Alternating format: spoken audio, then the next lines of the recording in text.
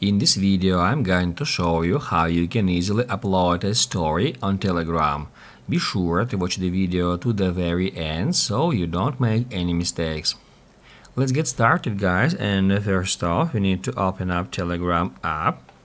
Then just tap right here to go to chats and then just drag it down a bit until it shows up this uh, bar which shows us uh, the first circle which is called my story and someone else's stories here. Now guys, to create our own story, we need to tap right here and that will activate your device's camera.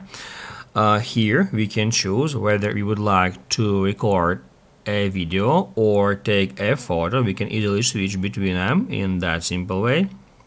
Also here we can flip our camera and also we can activate that mode where uh, we can use both of our cameras at the same time. So here we can see my uh, front camera. We can easily turn this option on and off.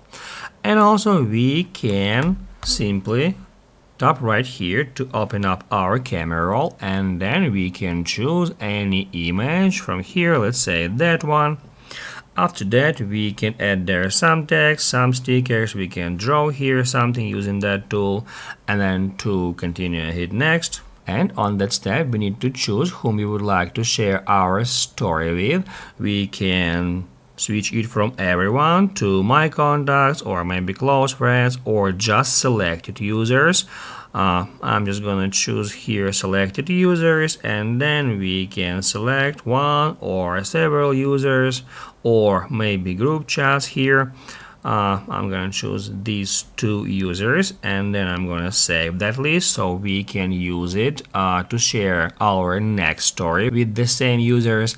And also here we would like to choose if we allow to screenshot our story or if we would like to post the same story to our telegram profile. After that to share it just hit right here at post story Basically guys that's it, so if this video was helpful for you, don't forget to hit the like button.